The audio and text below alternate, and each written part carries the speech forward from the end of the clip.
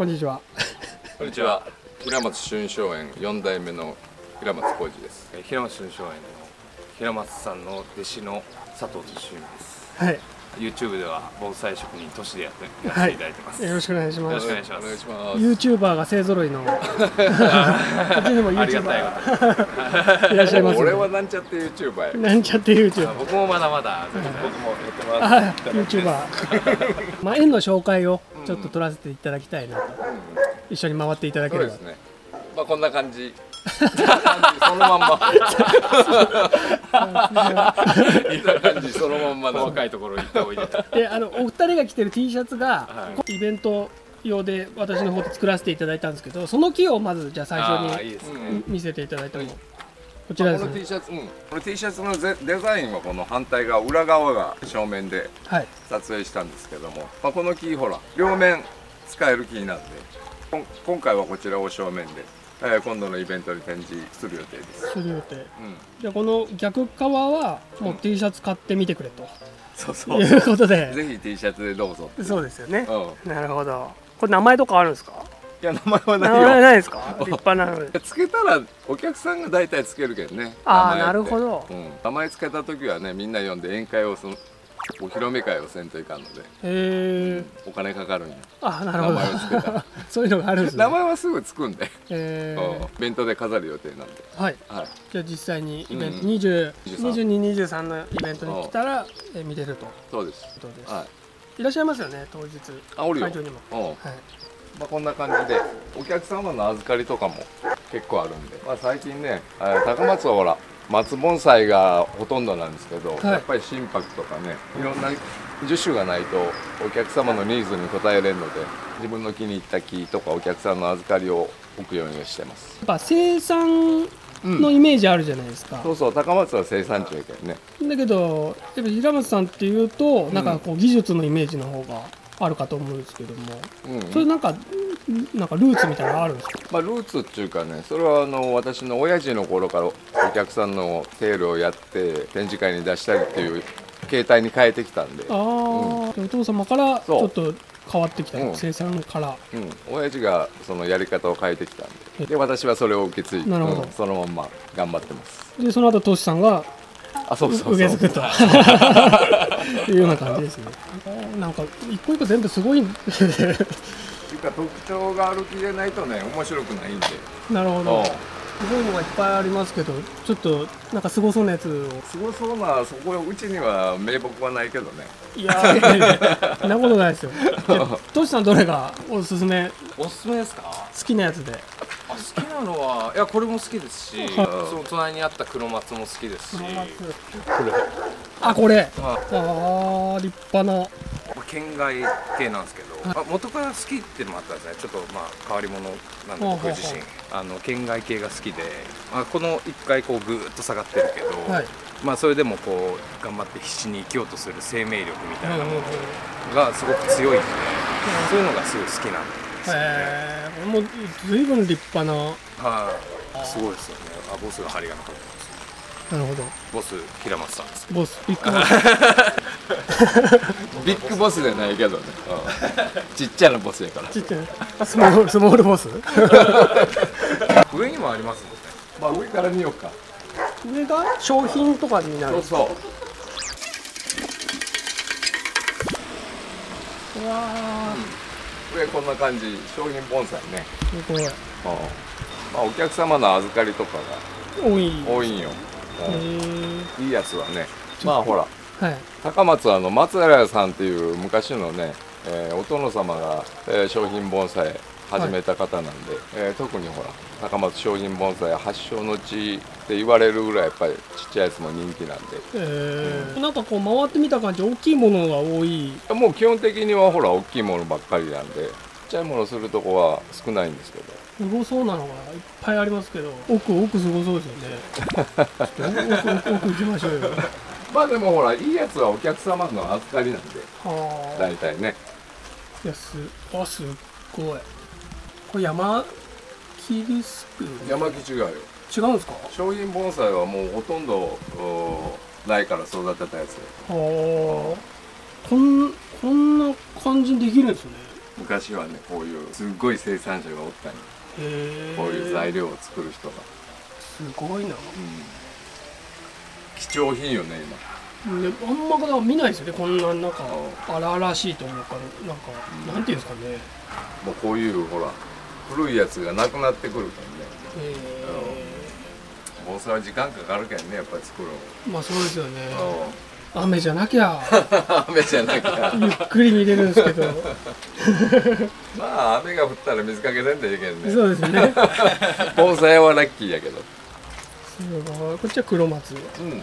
黒松ね、まあ高松は気候的にもやっぱり松に適した場所やけんね、なるほど。うん、雨が少ない雨少ないし夏などうしても夏暑いけんやっぱり。やっぱパリッとするのよ葉っぱが。なるほど。うん。そんな雨少ない中今日は残念ながら。そうそう。あ 雨男やけん。ね雨男。うん。いろんな。まあ上からビヨーン。ビヨーンって取ったらほら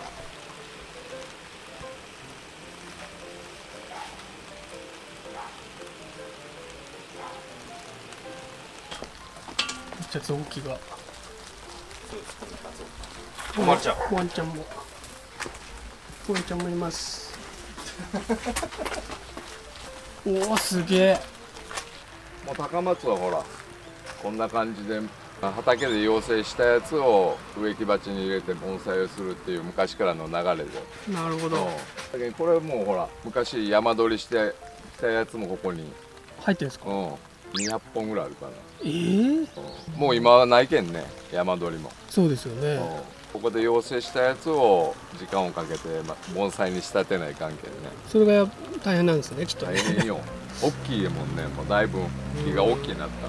これって大きくししない風にするんですよねきっと。高さが出ないように。切り込むけんね。切り込む。毎年。ああ伸びた枝を切ってくる。そうそうそうそう。目切りとかはさすがにしないですか？目切りしたらその枝数が増えすぎるんで。さっきは中目切りとか言って特殊な方法で切り込んでいへくだけど畑の手入れと盆栽になった時の手入れが多少枝の剪定の仕方が違うんで。えなるほど。これは入っ入ってもいいんですか？入ってもいいよ。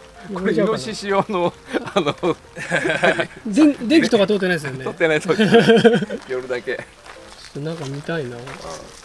イノシシでですか？たまに来るよイノシシこれ土とかはなんかあるんですか？あそうよ。畑の土はほら加工土昔田ん田んぼだったけん。はい。田んぼの土ではほら水はけ悪いんで。なるほど。加工土を入れてやって客土して水はけ良い土にした状態にで植えてやる。へえ地獄やけんね地獄。こ れこれ手入れする。そうですよね。そでここっちもですか？ううんあれもうあれもうなんていうんだろう。あれも今から手入れせないかんだけど、こっちとの違いはどういう？なんかでかいですけど向こうの方は。うん、あれはほら太らすためにこう走らせたんやけど走らせすぎたんで。走らせすぎ。へ ほんだけあれ枝をまたなえ打ち込んで幹に。枝継ぎみたいな。そう。作り直さねえかんねあなるほど。うん。だけど仕事いっぱいありすぎ。てそうですね。うん。まあトシさんが全部やってくれると思うんで。そうそうそうそう。頑張ります。僕も見ていいですか？あええよええよ、すごい。うん、だけどこれやけんねうわあ相当太いですね。こう太らすんで走らせたんやけど。走らせすぎて。これも これこそ地獄じゃないですか。これはこういうやつをつここにつぎ込んでいくんよはいはいあ大変だな作るの。大変やろ。大変。っていうかもう奥の方とか入っていけないですねもう。切り込みながら入っていけん大丈夫。えー、それはぜひあの動画であ動画での？動画でそれやった方がいいですよ、ああそうですね。ね、やってくださいよ。見たいそうですよね。確かに切り定点で 切り込んで中入っていくところを見たら面白いですよ、切り込んでで継ぎながらずーっと入っていく。ぜひう。ん皆さんご登録くださいと。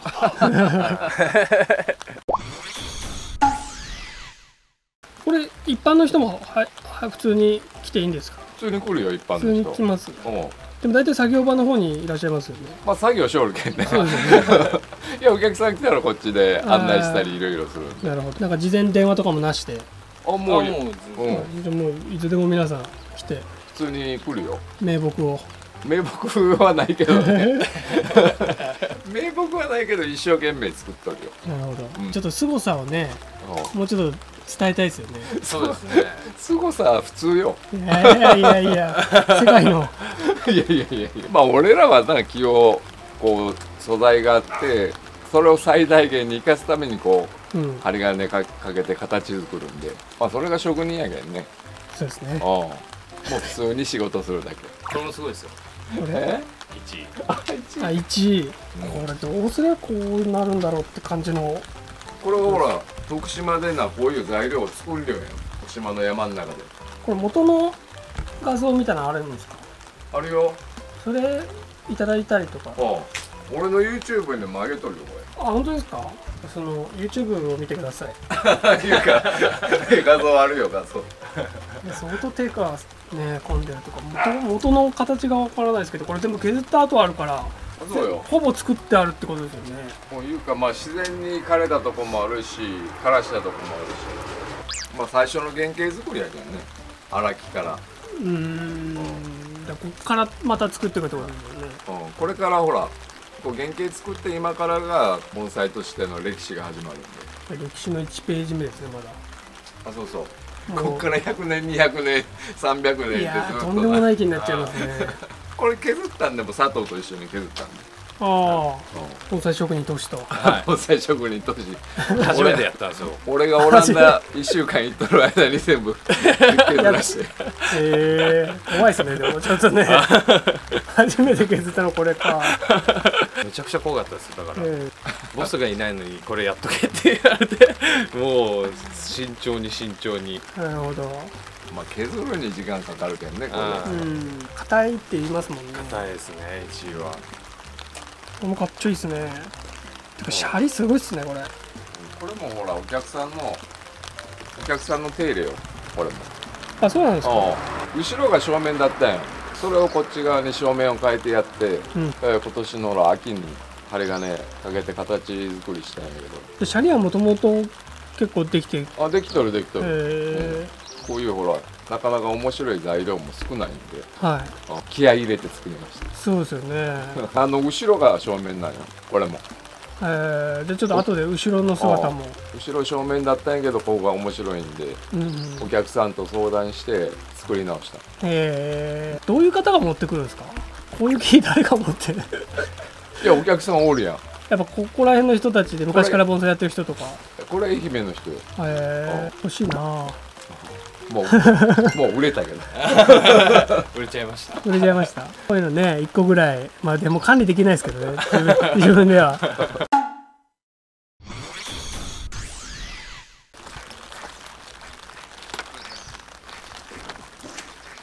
ここがね、えー新しく、えー作った、まあ、作業場になるんですけど、えーここはほらあの研修生盆栽をえー勉強したいいう人おが泊まり込みで、えー研修ができるような、施設を作りました。はい。ちょうどコロコロナが、えーコロナが始まった時に。作って。本当はだから外国の方とか受け入れるみたいなイメージですよね。う。ん。まあ、10月の末からはね何人か来るんやけどようやくコロナも落ち着いたんで研修生も来れるようになりました航空機の泊まらせていただいたんでそうそうそうそすごくう4部屋ね。すごく気持ちよくね買わせていただきます。よくね動画とかでうん。トシさんとかの動画とか出てるのはここですそうここでね、えー撮影も全部うんできるように。綺麗なんですよまあ本当に。できてまだ3年やけどね。いやさん掃除結構あ掃除はきっちりやってんじゃないですか。弟子はもう掃除を、うん。もう部屋とかをなんかねうん。シャワーとかも浴びてますけど 全部綺麗にやってたから大変だなと思いながら。いやそれはもう綺麗にせんとね、なるほど。うん。あ今回ね10月の、えー、と来週か、い。うん。作風展の一応審査があるんで、はい。今回はね商品盆栽を出展する予定で、なるほど。うん、飾りのリハーサリハーサルうん、どんな感じでするかっていうのね、はい。うん。